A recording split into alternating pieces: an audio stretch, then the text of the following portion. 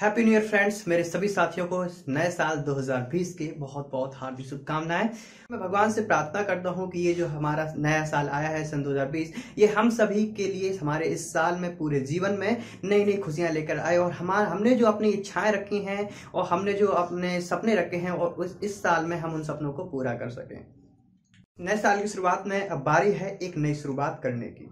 जैसे कि हमने आपसे कहा था कि एस एस और एस एस की जो हमारी प्रैक्टिस टेस्ट सीरीज़ है ट्वेंटी फाइव क्वेश्चन की, वो यहाँ पे स्टार्ट होगी न्यू ईयर से। तो आज हमारी ये पहली टेस्ट सीरीज़ यहाँ पे आपको जीके की स्टार्ट हो रही है। और ये सीरीज़ आपको टिल एग्ज़ाम्स तक मिलेगी और इसमें आपको क्या कराया जाएगा, इसकी सारी जानकारी मैं आपको पिछली वीडियोज़ में ही बता चुका हूँ। तो आज अब हम ये ट्वेंटी फाइव टेस्टिंग की जो पहली सीरीज़ है जीके की, वो आज हम आपको बताएँगे, उसके बारे में समझाएँगे और उसके ट्वेंटी क्वेश्चन आपको कराएँगे। लेकिन इस सीरीज़ की खास बात क्या है कि जो आप यहाँ पे 25 क्वेश्चन पढ़ेंगे, उन 25 क्वेश्चन की प्रैक्टिस भी आप आपको करनी ज़रूरी है। आपको ऐसे जैसे कि आपसे कहें कि आपको कैसे पता चलेगा कि जो आपने आज 25 क्वेश्चन को सॉल्व किया है वीडियो में देख करके वो 25 क्वेश्चन आपके तैयार हुए हैं या नहीं है? तो इसके लिए हम, मैंने जो डिस्क्रिप्शन होता है डिस्क्रिप्शन के नीचे एक लिंक दी गई है। वहाँ लिंक पे आपको प्रैक्टिस टेस्ट ऑनलाइन लगाने की सुविधा भी दी गई है। तो आप उस डिस्क्रिप्शन में जाकर के लिंक में जाइए। तो जो ट्वेंटी क्वेश्चन आप आज आपने पढ़े हैं, वो उस लिंक से जाके उनको अटेम्प्ट कीजिए और देखिए कि आपको कितनी तैयारी हुई है और आपने, आप उसमें कितना स्कोर कर पाते हैं। तो ट्वेंटी क्वेश्चन टेस्ट में भी रहेंगे, जो सेम क्वेश्चन जो आप यहाँ पे अब वीडियो में डिस्कस करेंगे। और साथ ही साथ, अब जैसे प्रॉब्लम ये होती है कि यदि हम इस वीडियो को डाउनलोड करना चाहते हैं तो वो यूट्यूब पे ही डाउनलोड हो जाती है और वीडियो के रूप में हम उसको कहीं दूसरे प्लेटफॉर्म पे शेयर नहीं कर सकते, केवल लिंक ही शेयर कर सकते हैं। तो इसकी भी आपको परेशान होने की ज़रूरत नहीं है। डिस्क्रिप्शन में इसके नीचे दूसरी भी लिंक दी गई है। वहाँ पे इस पूरे वीडियो को आप गैलरी में अपने सेव कर सकते हैं और अपने दोस्तों या और भी प्लेटफॉर्म पे आप इस वीडियो को शेयर कर सकते हैं। दोस्तों, करते हैं लेक्चर को स्टार्ट और स्टार्ट करते हैं हम लोग अपने सेशन को। तो हमारा जो पहला क्वेश्चन है, पहला क्वेश्चन है, अरुणा आसफ अली किस आंदोलन से जुड़ी हुई हैं? और इसके लिए हमारे पास चार ऑप्शन दिए गए हैं। पहला ऑप्शन है भारत छोड़ो आंदोलन, दूसरा ऑप्शन है सत्याग्रह आंदोलन, तीसरा ऑप्शन है चंपारण आंदोलन, और लास्ट ऑप्शन है हमारे पास इनमें से कोई नहीं। तो जो अरुणा आसिफ अली हैं, ये कौन है? ये भारत की बहुत ही बड़ी एक इंडियन एजुकेटर के रूप में मानी जाती हैं। और इनकी जो दो फ़ेमस बुक हैं, एक इनकी बुक का नाम है आइडियाज़ ऑफ़ ए नेशन ध्यान रखना, अरुणा आसिफ अली इनकी दो फ़ेमस बुक है, एक इनकी बुक का नाम है आइडियाज़ ऑफ़ ए नेशन और इनकी एक दूसरी बुक है, जिसका नाम है private face of a public person आप कॉपी और पेन लेके रखिएगा जो आपको एक्स्ट्रा इन्फॉर्मेशन मिलती है, उनको आप नोट करते जाइएगा। तो अब अब यहाँ पे पूछा गया अरुणा आसिफ अली। तो 1942 में जब क्विट इंडिया मूवमेंट भारत छोड़ो आंदोलन चल रहा था, तब इन्होंने एक बॉम्बे में एक मैदान पड़ता है गोवलिया टैंक मैदान। वहाँ पे इन्होंने भारत का झंडा फहराया हुआ था तो इसीलिए ये अरुणा आसिफ अली हैं, भारत छोड़ो आंदोलन से जुड़ी हुई हैं। इनकी जो दो बुक हैं, उनका आप ज़रूर से याद रखिएगा। बढ़ते हैं हम लोग अगले क्वेश्चन की तरफ़। दूसरा क्वेश्चन है हमारा लोकसभा में एंग्लो इंडियन समुदाय के प्रतिनिधित्व के लिए प्रावधान किस अनुच्छेद में है? हमारे पास चार ऑप्शन दिए गए हैं आर्टिकल 330, आर्टिकल 331, आर्टिकल 332 और आर्टिकल 333 तो अब आपको बताना है कि जो आप लोकसभा है इसमें दो एंग्लो इंडियन समुदाय चुने जाते हैं प्रतिनिधित्व होता है। तो इसका जो हमारा अनुच्छेद किस अनुच्छेद से लिया गया है? तो ध्यान रखिएगा आर्टिकल थ्री थर्टी है जिसमें एंग्लो इंडियन समुदाय के लोगों को चुने जाने का प्रावधान है। ठीक है? बढ़ते हैं हम लोग अगले क्वेश्चन की तरफ़। तीसरा क्वेश्चन है, भूमिगत जल को प्रदूषित करने वाला अजैविक प्रदूषक क्या कौन है? अब यहाँ पे थोड़ा सा मिसप्रिंट है। यहाँ पे जो लिखा हुआ है अजैविक अजैविक प्रदूषक अजैविक नहीं है अजैविक प्रदूषक है, ये आपका जो लिखा हुआ है, ठीक है? अब देखो। अब यहाँ पे हमारे पास भी चार ऑप्शन है। पहला ऑप्शन है जिंक, दूसरा ऑप्शन है आर्सेनिक, तीसरा ऑप्शन है तांबा और चौथा ऑप्शन है पारा। तो ध्यान रखिएगा कि आर्सेनिक मात्र एक ऐसा पदार्थ है, एक ऐसा प्रदूषक है जो भूमिगत, यानी कि ज़मीन के अंदर यदि मिट्टी में पाया जाता है तो ये जल को क्या कर देता है? प्रदूषित कर देता है। तो आर्सेनिक हमारा यहाँ पे क्या होगा? करेक्ट ऑप्शन करेक्ट ऑप्शन होगा। बढ़ते हैं हम लोग क्वेश्चन नंबर फोर की तरफ़। क्वेश्चन नंबर फोर है, एपिको आंदोलन किस राज्य से प्रारंभ हुआ था? तो इसके चार ऑप्शन दिए गए हैं, तमिलनाडु, कर्नाटक, केरल और गुजरात। तो इसको आंदोलन को समझ, ऑप्शन समझने से पहले हमको पहले तो ये पता होना चाहिए कि आखिर ये एपको आंदोलन होता क्या है। तो ध्यान रखिए, जंगलों की सुरक्षा के लिए और पेड़ पेड़ पौधों को बचाने के लिए एपको आंदोलन की शुरुआत हुई थी। तो इसको जो हमारा, देखो, इंडिया का जो south port, south south area है और एक नॉर्थ एरिया है तो इसी आंदोलन को नॉर्थ एरिया में, जो यहाँ पे, जो नॉर्थ इंडिया है, नॉर्थ इंडिया में इसको चिपको आंदोलन के नाम से जाना गया था जो आपका यहाँ पे एपको, आंदोलन दिख रहा है, ये नॉर्थ इंडिया में आपका चिपको आंदोलन के नाम से जाना गया था। लेकिन यही साउथ इंडिया में आपका एपको आंदोलन नाम से जाना गया था बच्चों को बचाने के लिए। तो ये जो आपका दक्षिण भारत में शुरुआत हुई थी, इसकी शुरुआत हुई थी कर्नाटक से। कहाँ से शुरुआत हुई थी इसकी? कर्नाटक से शुरुआत हुई थी इसकी। और कोलकाता में उच्च न्यायालय की स्थापना कब हुई? बॉम्बे, मद्रास और कोलकाता में उच्च न्यायालय की स्थापना कब हुई? इसके दिए गए हमारे पास चार ऑप्शन। पहला ऑप्शन है 1861 दूसरा ऑप्शन है 1850 तीसरा ऑप्शन है अठारह सौ पचासी और लास्ट ऑप्शन है हमारे पास अठारह सौ बहत्तर। इन चारों ऑप्शंस में से आपको बताना है कि कोलकाता, बॉम्बे और मद्रास में हाई कोर्ट की स्थापना कब हुई? तो ध्यान रखिए, सन 1816 की वन की बात है ये, जब बॉम्बे, मद्रास और कोलकाता में हाई कोर्ट की स्थापना की गई थी।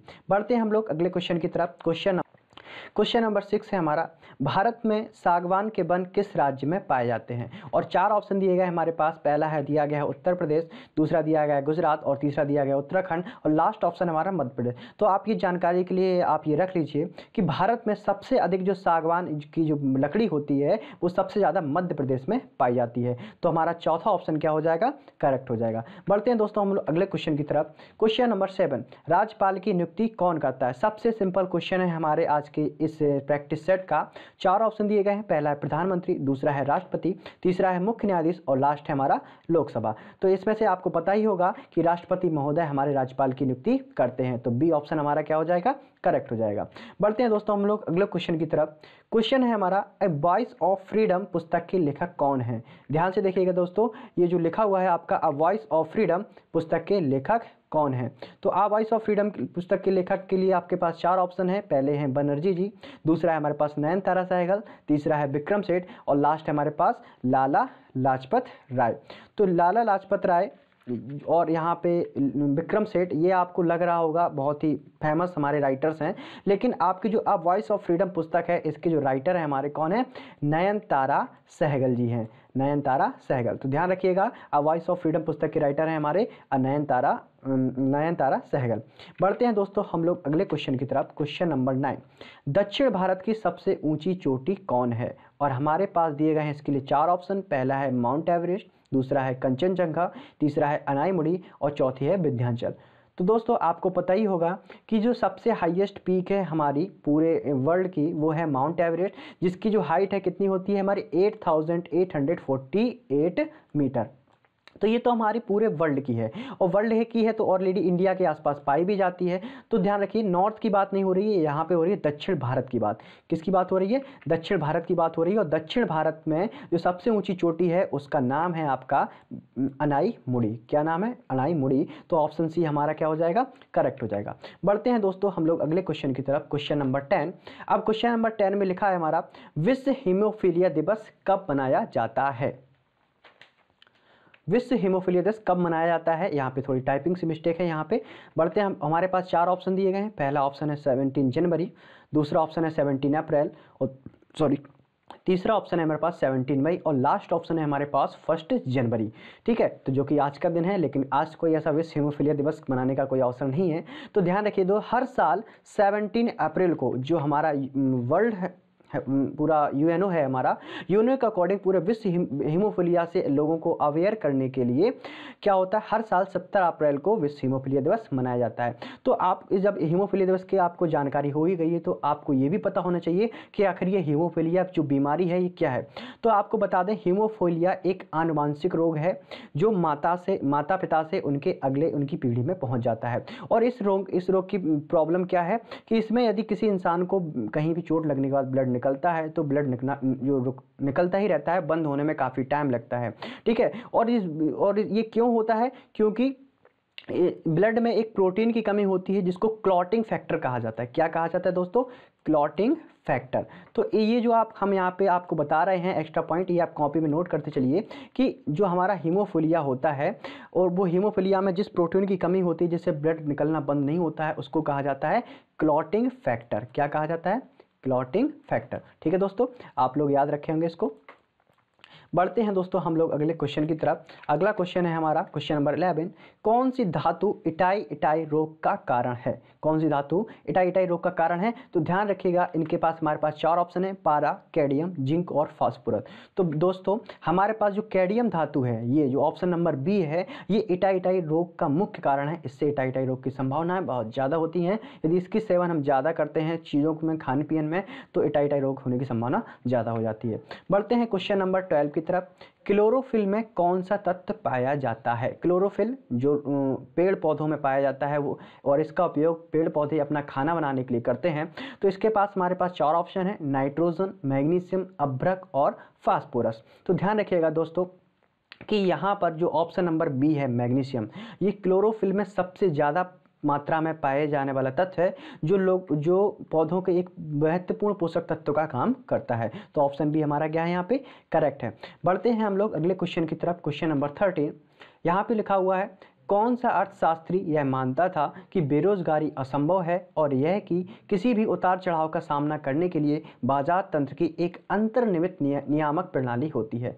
आप इस क्वेश्चन को दोबारा एक बार पढ़ सकते हैं कि एक हमारे अर्थशास्त्री हैं जिनका ये मानना है कि बेरोजगारी असंभव, यदि कोई इंसान चाहे तो वो बेरोजगार नहीं रह सकता है। क्योंकि ज़िंदगी में उतार चढ़ाव तो आते ही रहते हैं और उनका सामना करना जिसमें होती है तो एक ये नियामक प्रणाली है क्योंकि कोई यदि इंसान बिज़नेस स्टार्ट करता है तो कभी नुकसान तो कभी फ़ायदा ऐसा होता ही रहता है। तो अब ये किसने कही थी बात? हमारे पास इसके लिए हैं चार ऑप्शन फ़र्स्ट ऑप्शन है जे बी से दूसरा ऑप्शन है विलियम तीसरा ऑप्शन है लुइस और लास्ट ऑप्शन नन तो आप ये एक तो ऐसा क्वेश्चन है कि हमें इतने सारे लोगों की बातें याद नहीं रहती हैं लेकिन ये क्वेश्चन आया हुआ है प्रीवियस ईयर क्वेश्चन का है। तो आप इसका याद कर सकते हैं कि जे बी से, डॉक्टर जे बी से वो अर्थशास्त्री हैं जिन्होंने इसके बारे में बताया था। बढ़ते हैं हम लोग क्वेश्चन नंबर फोर्टीन की तरफ़। मच्छरों के नियंत्रण में उपयोग होने वाले कीट बच्छी मछली कौन सी है? दोस्तों, आप सभी को पता होगा कि एक ऐसी ही मछली है। आपको ऑप्शन देख के याद भी आ गया। चलो जल्दी से कमेंट करके आप बता सकते हैं कि कौन सा ऑप्शन है। तो आपको पता है ऑप्शन कौन सा हमारा? ऑप्शन है ए तो गैम्बूसिया वो मछली है जिसका उपयोग मच्छरों को नियंत्रित करने में किया जाता है। जहाँ पर जिन तालाबों में आसपास ज़्यादा मच्छर मंडराते हैं, डेंगू की संभावना ज़्यादा होती है, वहाँ पर इस मछली को तालाब में छोड़ दिया जाता है, जिससे ये मच्छरों का अपना आहार बना करके उनको नष्ट कर देती है। तो गैम्बूसिया मछली का उपयोग मच्छरों के नियंत्रण में किया जाता है। बढ़ते हैं दोस्तों हम लोग क्वेश्चन नंबर फिफ्टीन की तरफ़। डाउन सिंड्रोम में गुणसूत्रों की संख्या कितनी होती है? तो आपको ये पता होना चाहिए डाउन सिंड्रोम क्या है? ये हमारा है trisomy twenty one down syndrome को ट्राइसोमी ट्वेंटी वन के नाम से भी जाता है। अब ये एक ऐसी बीमारी है, ये भी एक आनुवांशिक रोग है। इसमें क्या होता है कि हमारा जो क्रोस, क्रोमोसोम होता है, हमारे, आपको पता होगा कि मानव गुणसूत्रों की संख्या 46 होती है, छियालीस होती है।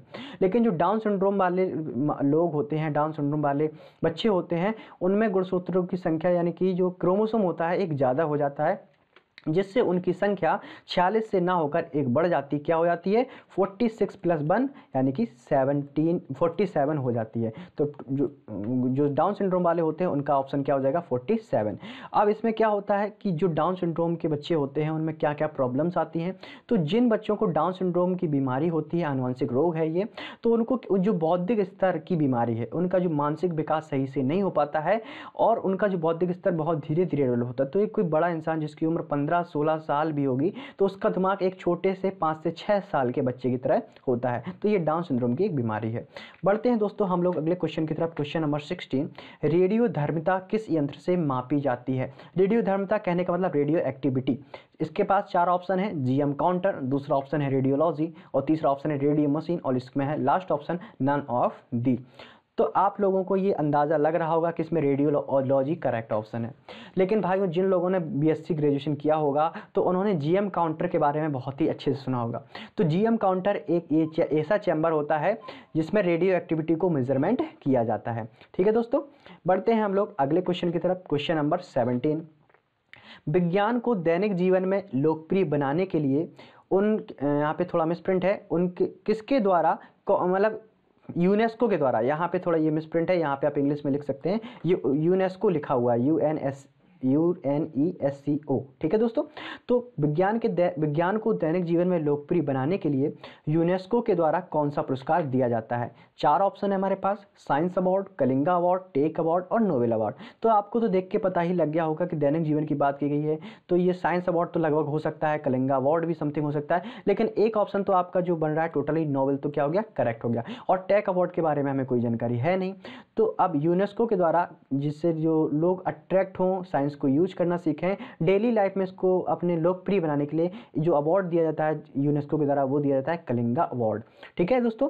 अब यूनेस्को का फुल फॉर्म आपको पता होगा United Nation Educational and Scientific Cultural Organization ये यूनेस्को का फुल फॉर्म है। ठीक है दोस्तों, बढ़ते हैं हम लोग अगले क्वेश्चन की तरफ़। क्वेश्चन नंबर एटीन प्रोग्रामिंग में त्रुटि को क्या कहा जाता है? त्रुटि यानी कि कोई प्रॉब्लम इरर अब देखो, मैंने इरर बर्ड बोला, लेकिन ये हो सकता है गलत हो। आपके पास चार ऑप्शन दिए गए हैं।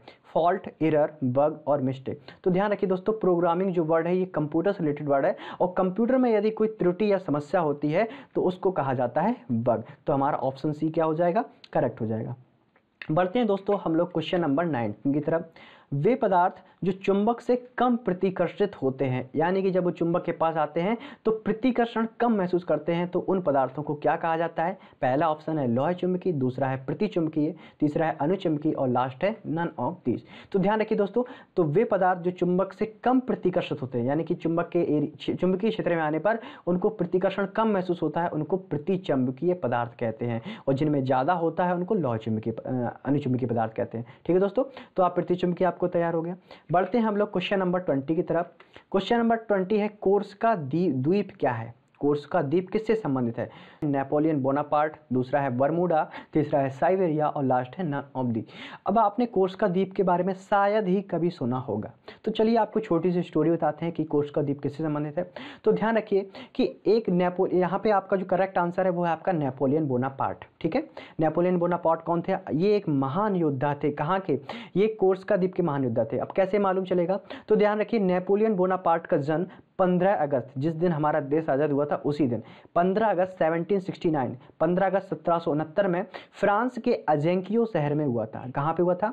जो नेपोलियन बोनापार्ट है, इनका जन्म फ्रांस के अजेंकियो शहर में हुआ था, जो और जो जो आपका अजेंकियो शहर है, ये किस द्वीप पे पड़ता है? फ्रांस में एक द्वीप है, जिसका नाम है कोर्स का द्वीप। तो नेपोलियन बोनापार्ट का जन्म कोर्स का द्वीप में हुआ था।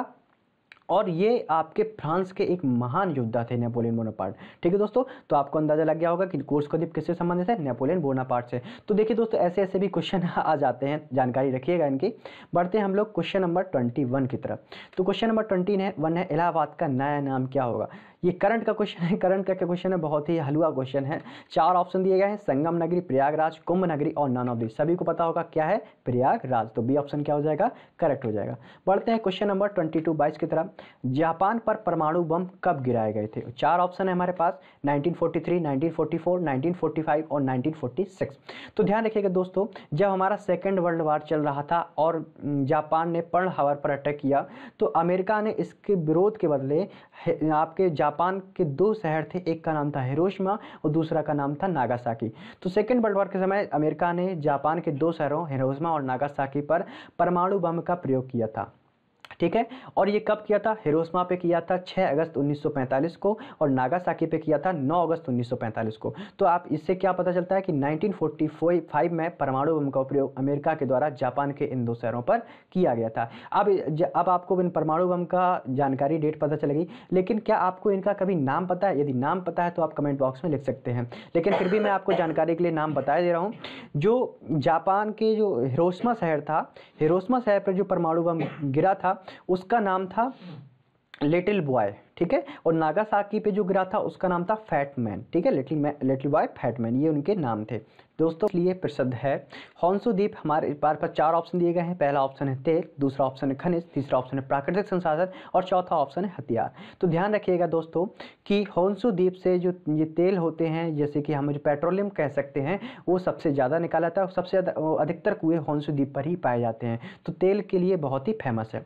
पढ़ते हैं दोस्तों हम लोग अगले question twenty question number twenty की तरफ़। क्वेश्चन नंबर ट्वेंटी है हमारा जो क्वेश्चन नंबर ट्वेंटी फोर स्वतंत्र भारत की प्रथम राष्ट्रीय न्यूज़ एजेंसी कौन है? तो हमारे पास इसके लिए दिए गए हैं चार option, the Free Press of India, Zee News, new Bengal और आज तक। तो आपको ऑप्शन देख के पता चल गया होगा, स्वतंत्रता के बाद थे जो आज तक थे ये जी तुम्हारे लेटेस्ट हैं न्यूज़ चैनल, लेकिन जो सबसे पहली न्यूज़ एजेंसी थी, अब वो थी हमारी the Free Press of India. ये भारत की पहली स्वतंत्र न्यूज़ एजेंसी है, जिन्होंने लोगों को अवेयरनेस फैलाने के लिए इसकी शुरुआत की थी। बढ़ते हैं हम लोग आज के इस क्विज के, इस पूरे टेस्ट सीरीज़ के लास्ट क्वेश्चन 25 क्वेश्चन नंबर की तरफ़। ठीक है दोस्तों 25 क्वेश्चन है, कुडन कुलम परियोजना किस राज्य से संबंधित है? कुडन कुलम परियोजना। तो कुडन कुलम परियोजना ये है क्या और फिर किस राज्य से है? वो तो आपके पास चार ऑप्शन है, केरल, महाराष्ट्र, तमिलनाडु और गोवा। तो आपको पता होना चाहिए कि कुडन कुलम परियोजना एक न्यूक्लियर एनर्जी पावर प्लांट है, जिसके अंतर्गत नाव की ऊर्जा से इलेक्ट्रिसिटी को प्राप्त किया जाता है। तो ये जो कुडनकुलम परियोजना की शुरुआत हुई थी ये हमारे साउथ इंडिया के तमिलनाडु शहर से इसकी शुरुआत हुई थी। तमिलनाडु राज्य हमारा तमिलनाडु स्टेट है उस राज्य से संबंधित है। तो कुडनकुलम परियोजना न्यूक्लियर पावर एनर्जी प्लांट है जिसकी शुरुआत तमिलनाडु से हुई थी। आई होप आप लोगों को लेक्चर अच्छा लगा होगा। तो जाइए जल्दी से डिस्कशन में जाके इस टेस्ट को लगाइए और देखिए कि आप लोग कितना अच्छा कितना स्कोर किया है। मिलते हैं हम लोग नेक्स्ट कल आ, अगले लेक्चर में। अगली हमारी टेस्ट सीरीज़ भी होगी test G K two bye bye take care yourself और चैनल को शेयर कर देना सब्सक्राइब कर देना, लोगों को फैला देना कि बिल्कुल तैयार हो जाइए एग्ज़ाम्स के लिए. एग्ज़ाम की प्रैक्टिस स्टार्ट हो चुकी है.